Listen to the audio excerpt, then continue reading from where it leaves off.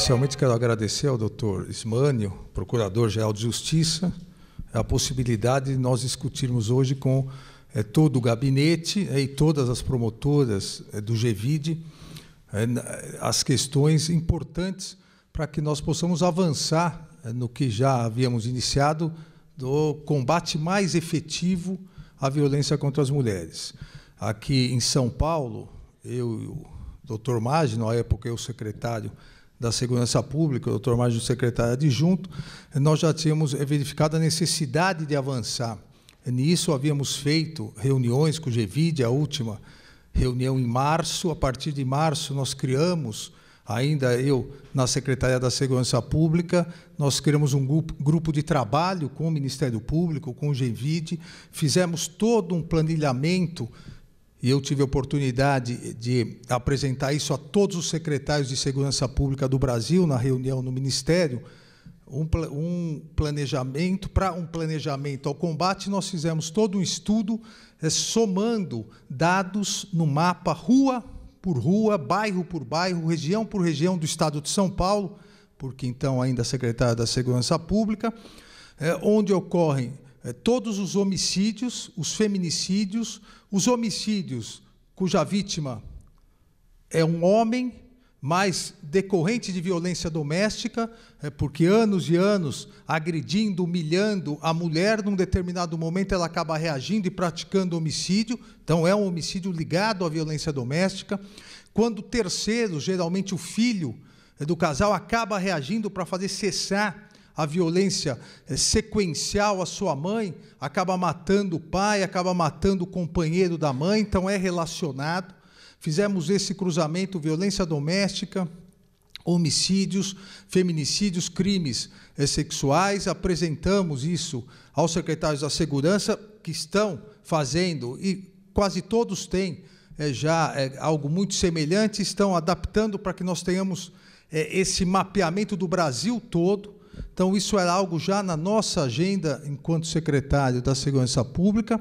e a partir de agora, no Ministério, a partir é, da reunião que foi realizada há duas semanas, depois a criação de um núcleo de combate à violência contra a mulher. Esse núcleo de combate, cuja portaria também foi editada há quase duas semanas, esse núcleo de combate, ele engloba todas as secretarias envolvidas no Ministério, a Secretaria eh, Nacional de Proteção à Mulher, a Secretaria Nacional de Direitos Humanos, Secretaria Nacional de Justiça, Secretaria Nacional de Segurança Pública, três representantes. Eu solicitei isso ao Conselho eh, Nacional de Secretários da Segurança, três representantes, três secretários da Segurança Pública que já foram indicados para participar desse núcleo. O doutor Magno é um dos secretários que participará desse núcleo, e a representante eh, da ONU aqui no Brasil para esse assunto. E nós estamos pegando todas as experiências importantes é, do Brasil todo, todos os estados têm algo é, a contribuir, para que nós possamos realmente criar um, um, plano nacional, um plano nacional efetivo de aplicação imediata, é, com prioridades a brevíssimo prazo, breve prazo, médio e aí é longo prazo, um plano nacional do combate a essa chaga que é a violência contra a mulher, a violência de gênero. E de três formas, ou seja, três é, bases para esse plano, e hoje isso foi discutido aqui com o Ministério Público do Estado de São Paulo, que apresentou é, inúmeros projetos já bem-sucedidos e inúmeros projetos a serem implantados e terão total apoio é, do Ministério da Justiça. Mas nós temos que atuar em três eh, focos. Primeiro, a prevenção. E a prevenção comporta, em curtíssimo prazo, é uma campanha nacional que esse o núcleo está discutindo, vai discutir com todos os estados para ver as peculiaridades de cada um e o que é possível numa campanha nacional, uma campanha nacional de divulgação, de prevenção, isso é importantíssimo. É, além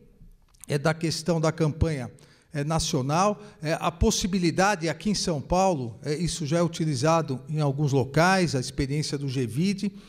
nós vamos conversar com o ministro da Saúde para o aproveitamento dos agentes de saúde, da saúde da família, no Brasil todo, e eles, eles têm acesso a quase 110 milhões de brasileiros hoje, é, para que eles sejam capacitados e possam também auxiliar nessa prevenção à violência doméstica e possam detectar sinais nas casas em que eles atendem de violência doméstica. Isso é muito importante porque há, haverá uma capilaridade muito grande. Então, essas medidas a curto prazo, medidas relacionadas a procedimento, é, o, o Ministério Público do Estado de São Paulo irá encaminhar ao nosso núcleo, irá encaminhar a sua proposta de protocolo unificado de atendimento às mulheres, os outros, os outros atores, ministérios públicos, secretárias da segurança também, para que nós tenhamos, isso é um pedido, um pedido antigo é, de todos aqueles que lutam contra a violência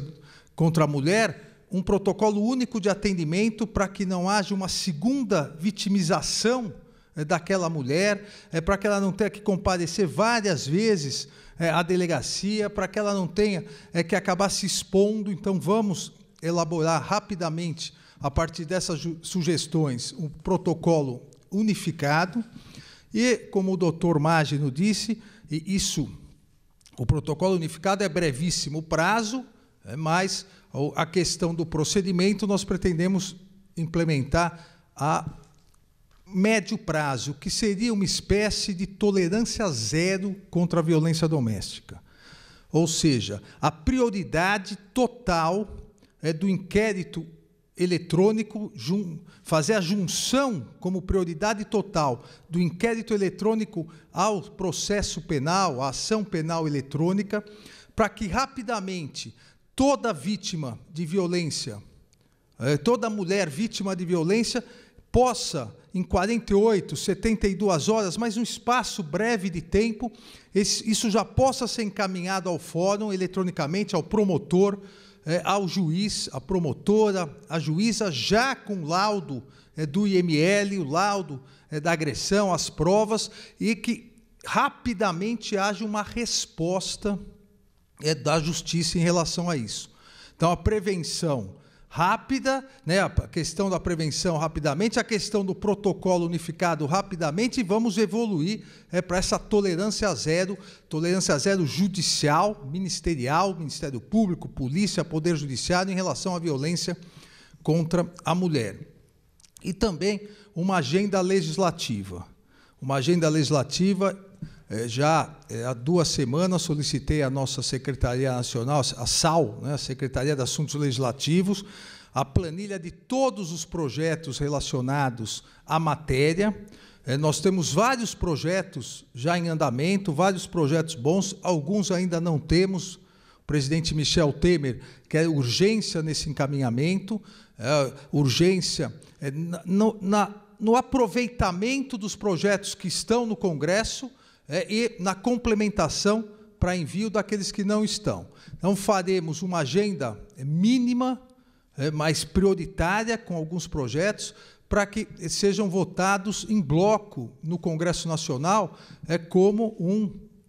um auxílio ao combate à violência contra a mulher. Inclusive, isso é um pedido de vários estados e foi reiterado aqui pelo GEVID, pelo doutor Ismânio, pela doutora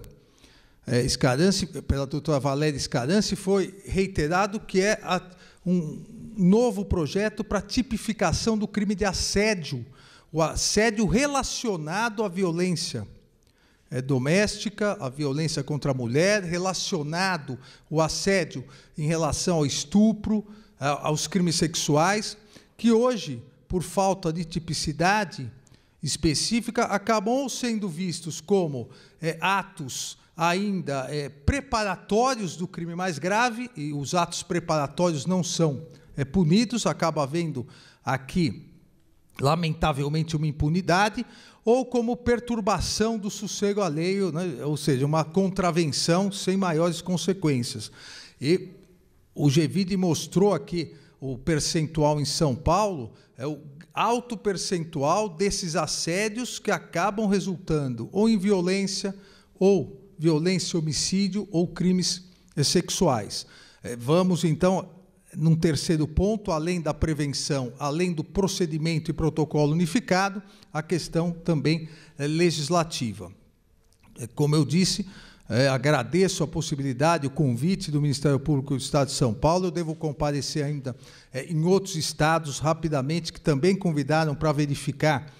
as suas peculiaridades, o estado do Rio Grande do Sul, o estado de Goiás, o estado do Espírito Santo, que tem experiências importantes também. É, todos os estados, eu poderia citar ainda outros estados, o Pará, é o estado do Rio Grande do Norte, todos os estados têm experiências importantíssimas que nós precisamos, como eu disse, unificar é, para combater essa chaga que é a violência de gênero, essa chaga que é a violência contra a mulher. Boa pergunta, não? Nossa.